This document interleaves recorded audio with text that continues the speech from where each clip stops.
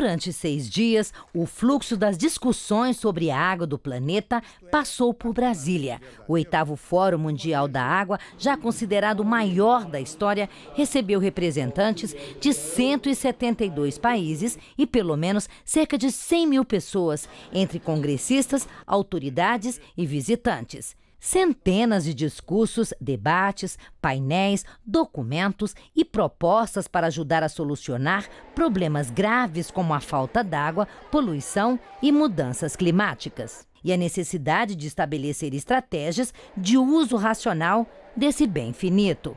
Mais que definir políticas, todos concordam que a mudança de comportamento em relação à água é fundamental para a preservação da vida. Nós aprendemos aqui muito, muito coisa legal, e de lá também eh, nós vamos aprender de aqui, levar lá, eh, que nós temos lá, para fazer a mesma coisa.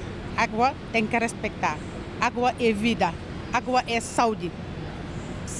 Água é tudo para nós. A minha avaliação é muito positiva é, principalmente por causa da, da, do intercâmbio das experiências, é, os painéis, que teve painéis de, de alto nível, muitas pessoas de diferentes partes do mundo falando sobre a problemática da água.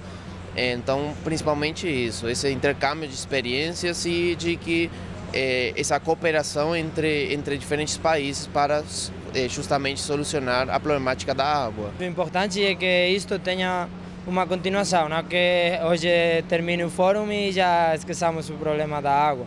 Então, isso é o mais importante. O fórum termina aqui, mas a responsabilidade com a preservação da água é dever de casa que cada país terá que apresentar daqui a três anos na nona edição do evento no Senegal, onde o tema será segurança da água para a paz e o desenvolvimento durável. Welcome to Senegal, welcome to Africa.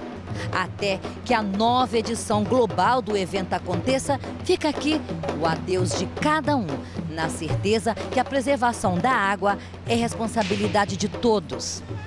Ma'assalama. Shalom, shalom, leitraot. Dovidinha. Muito.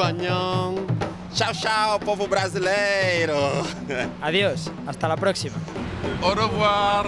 Rendez-vous Dakar 2021.